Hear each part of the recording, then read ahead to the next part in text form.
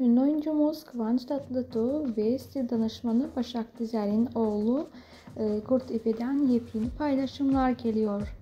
Annesi Başak Dizer kendi Instagram hesabını aktif kullanıyor ve oğlunun yepyeni resimlerini paylaşım ediyor.